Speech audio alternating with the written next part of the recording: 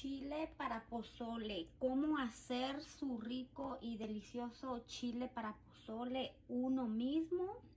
Pues así de fácil. Solamente tiene que tostar el chilito aquí en el comal, ya sea chile chiltepín, chile de árbol, que es el que más pica.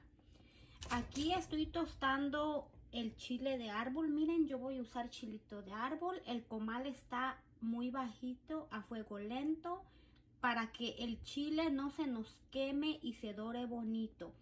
Una vez doradito lo vamos a moler en la licuadora bien molidito.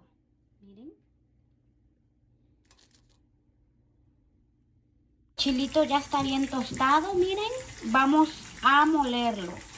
Está el chile adentro en el vaso, vamos a molerlo.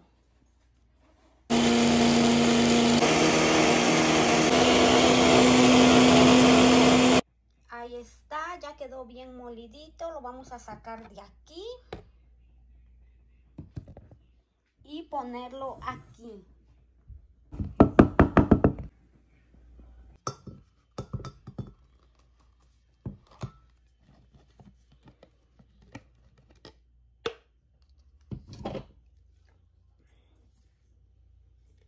Miren, ahí está nuestro chile.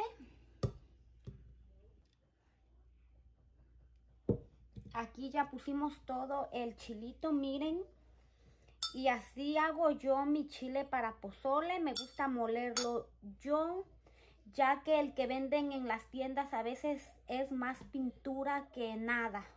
O sea, pinta el pozole, pero no pica. Entonces, este Chile a mí me encanta. Miren, con poquito chile le pueden echar poquito a su pozole. Y con poquito es suficiente, ya que el chilito pues es chile de árbol. Pero usted puede tostar el chile de su preferencia. Uno que no pique tanto como el chile serranito, el chile guajillo. Lo puede tostar bien y molerlo. Ese tampoco pica. El chile costeño, tampoco pica. Miren, y este es chile de árbol, o sea, este sí es muy picante, este con poquito ya es suficiente. Y pues eso era todo por hoy. Se me cuidan y que tengan linda tarde.